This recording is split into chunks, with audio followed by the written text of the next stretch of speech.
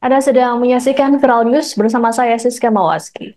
Warga di kawasan Pejaten Pasar Minggu Jakarta Selatan dikejutkan dengan aksi penyanderaan seorang bocah perempuan oleh seorang pria dewasa pada Senin 28 Oktober. Detik-detik pisau menegakkan ini pun langsung menjadi perhatian warga dan para pengguna jalan. Alhasil, penumbukan kendaraan sempat terjadi di depan Mall The Park Pejaten. Beredar kabar bahwa pelaku adalah ayah korban sendiri namun polisi kemudian melakukan klarifikasi dan menyebut pelaku adalah teman bisnis ayah korban. Peristiwa bermula ketika pelaku IJ membawa korban S menggunakan sepeda motor dari rumah orang tua korban di wilayah Cakung, Jakarta Timur pada Minggu 27 Oktober malam. Kasih Humas Polres Metro Jakarta Selatan AKP Nurma Dewi mengatakan IJ mengajak S berkeliling di kawasan Jakarta Timur hingga Jakarta Selatan sejak pukul 7 malam hingga 5 pagi. Menurut Nurma, pelaku tidak bermalam di suatu tempat sehingga paling banyak melakukan aktivitasnya di motor. Puncaknya ketika IJ menumpang taksi dan berhenti di depan pejaten.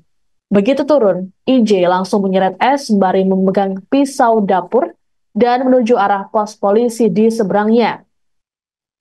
Warga sekitar yang melihat aksi IJ langsung mengapung dan menghubungi pihak kepolisian.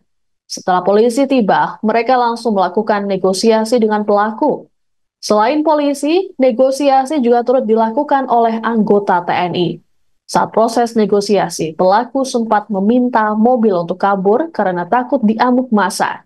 Setelah pelaku lengah, polisi berhasil merebut pisau dan mengamankan bocah perempuan tersebut. Seorang anggota polisi mengalami luka di jari karena terkena pisau saat merebut. Warga yang marah sempat hendak menghajar pelaku, namun hal ini tak terjadi karena polisi mengamankannya. Terungkap bahwa pelaku adalah dalam pengaruh sabu saat melakukan aksinya, sehingga ia berhalusinasi. Hal ini juga terkonfirmasi dari hasil tes urin. Polisi mengatakan IJ merasa dirinya dikejar banyak orang namun saat ia melihat anak kecil, dirinya tak jadi dikejar. Adapun kondisi korban dipastikan tak mengalami luka serius imbas penyanderaan ini. Saat kejadian, korban langsung diamankan oleh Kasat Lantas Polres Metro Jakarta Selatan, Kompol Yunita Rungkat. Terkait dengan penanganan kasus, dilimpahkan ke Polres Metro Jakarta Timur.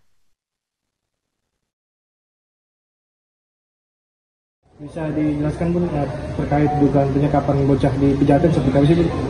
Ya, tadi kita sudah mengamankan seorang laki-laki, ya inisial IJ, umur 54 tahun.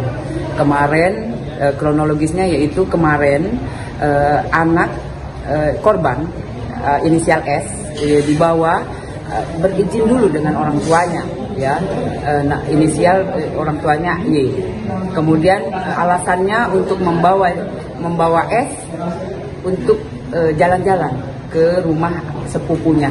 Itu awal dari uh, kasus yang dilaporkan. Dan akhirnya menjadi adanya penyekapan yang menggunakan sebelah pisau itu gimana? Ya, jadi uh, setelah berjalan-jalan ya dengan kendaraan roda dua uh, dari daerah Jakarta Timur, kemudian uh, sampai ke depan uh, Penfield ya dari di, di Pospol uh, Republika itu. Kemudian setelah itu anaknya menangis. Nah, itu kemudian dia membawa sebilah pisau dapur. Nah, itu yang untuk apa? Anaknya biar tidak nangis alasannya. Dari orang tua korban. Inisial pelaku? Inisialnya IJ. IJ. Bu, 54 tahun ya. Untuk motifnya apa sih Bu? Motifnya sebetulnya dia eh, hanya menjadikan anak ini sebagai eh, tameng ya karena dia eh, memakai sabu. Sudah diperiksa dia sudah eh, positif pas pakai sabu. Maksudnya tameng itu gimana? Iya, jadi dia takut.